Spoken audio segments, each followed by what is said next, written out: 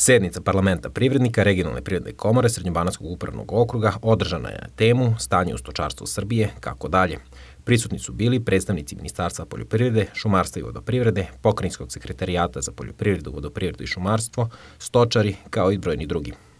Cilj ovakvih sastanaka jeste da kroz parlamente privrednika, regionalnih privrednih komora u Privrednoj komori Srbije dođemo još jedan put do vrlo konkretnih predloga za prestanak daljeg pada, više decenijskog pada, rekao bih, u stočarskoj proizvodnji i sa predlozima koji su relevantni i e, rekao bih izvodljivi za naše uslove, zaustavimo taj pad i damo predloge za unapređenje.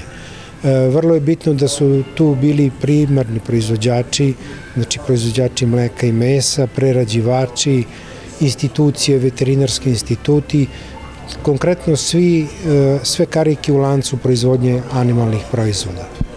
Na sednici su predstavljeni podaci o stanju u stočarstvu. Podaci govore prvo da je taj konstantni pad u broju grla nije još uvek toliko rezultirao u proizvodnji animalnih proizvoda. Hoću da kažem da mi proizvodimo još uvek dovoljne količine i mesa i mleka, ali smo ušli već u crvenu zonu gde to može da krene i u drugom smeru. E, videli smo poslednje tri godine doba covid i političkom situacijom između Ukrajine i Rusije koliko je proizvodnja hrane bitan faktor u, e, čak i u jednoj maloj e, ekonomiji u poljoprivredi kao što je Srbija, ali je proizvodnja hrane imperativ, rekao bih, za stanovništvo jedne države.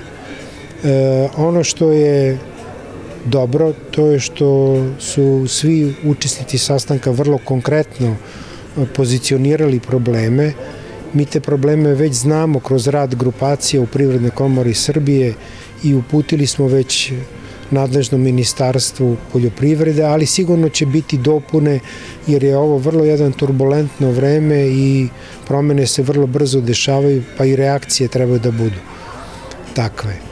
E, dobar signal koji dobijamo od Ministarstva poljoprivrede i vlade Republike Srbije, a to je da je stočarstvo stavljeno u fokus kao prvo da se poveća broj grla matičnog stada i goveda i svinja, a potom i da se unapredi e, kroz rad na reprodukciji, genetici, proizvodnja po grlu i sama količina tih proizvoda. Pomoćnik pokrinjskog sekretara za poljoprivredu, vodoprivredu i šumarstvo Milorad Malić predstavio je prisutnima konkurse za stočarstvo koji će biti objavljeni uskoro.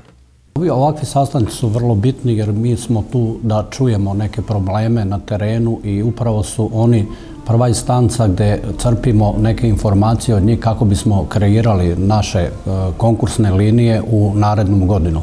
Mi smo za ovu godinu već opredelili nekoliko konkursnih linija.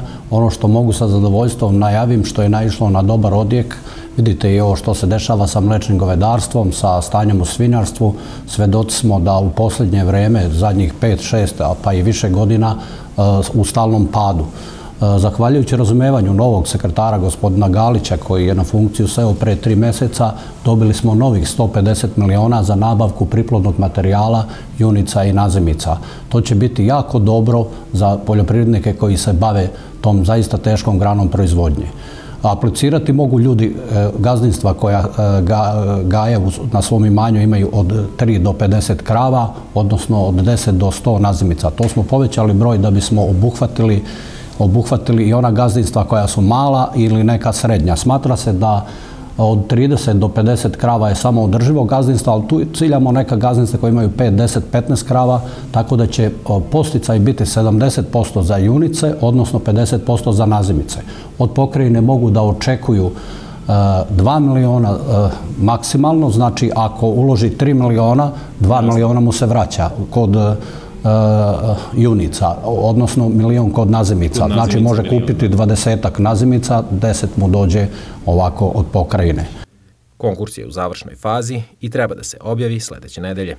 Trajeće mesec dana, tako da ima dovoljno vremena da naši poljoprivredni proizvođači pročitaju konkurs, vide konkurs. Najvažnije je jedna stvar gde smo u posljednjih 5 ili 6 godina primetili da ljudi moraju imati objekat. Znači moraju imati objekat upisan u objekte kod uprave za veterinu, u objekte jeste za držanje i uslov životinja. To nije teško dobiti, pošaljete tamo vaše podatke i u roku 15 do 20 dana e, veterina će da vam ispostavi takav zahtev. Znači, to je jedan od zahteva. Drugo, mora imati svoje životinje što znamo da, da znamo da u kom dajemo te životinje i da idu u ruke onih proizvođača koji jeste, da je već ozbiljan proizvođač. Prošle godine sam imao 110 miliona i nismo ni utrošili sva sredstva.